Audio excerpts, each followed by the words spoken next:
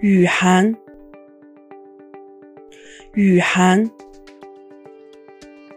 语涵。This is the Chinese pronunciation of the name. The same name may exist in other languages with different pronunciations.